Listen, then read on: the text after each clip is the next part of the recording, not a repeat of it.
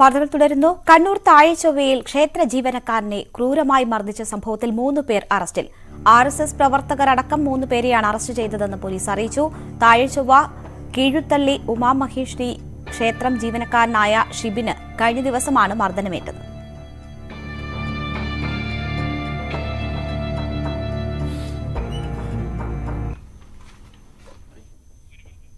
മനു ഭരത് വിവരങ്ങളുമായി ചേരുകയാണ്. മനു ക്ഷേത്ര ജീവനക്കാരനെ മർദ്ദിച്ച കേസിലാണ് ഇപ്പോൾ മൂന്ന് പേർ അറസ്റ്റിലായിരിക്കുന്നത്. ഇവർ ആരൊക്കെയാണ്? ഇവരെക്കുറിച്ച് പോലീസ് നൽകുന്ന വിവരങ്ങൾ എന്തൊക്കെയാണ്?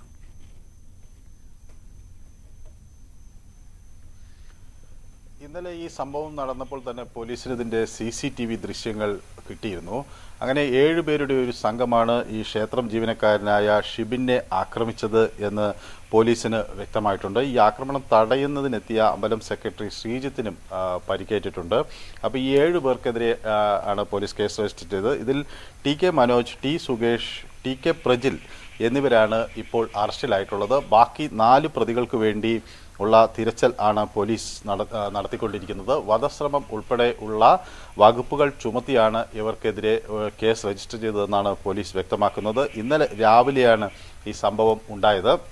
ക്ഷേത്രത്തിനകത്ത് ചില തർക്കങ്ങൾ കുറച്ചു കാലമായി നിലനിൽക്കുന്നുണ്ട്. അത് ഈ ഈ പരിക്കേറ്റ വ്യക്തിയാകട്ടെ ഡിവൈഎഫ്ഐ പ്രവർത്തകനുമാണ്. അപ്പോൾ ഇതിന് പുറകിൽ ആർ എസ് എസ് ആണെന്ന ശക്തമായ ആരോപണവുമായി ഡിവൈഎഫ്ഐ കഴിഞ്ഞ ദിവസം തന്നെ രംഗത്തെത്തിയിരുന്നു. ഇന്ന് അറസ്റ്റിലായവരിൽ രണ്ടുപേർ ആർ എസ് എസ്സുകാരാണ്.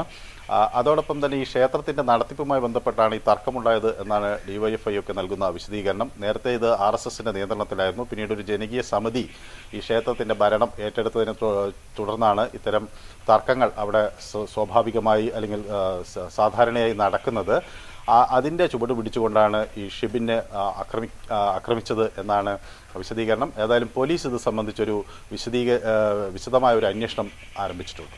ശരി. മനു ഭരത്താണ് വിവരങ്ങൾ.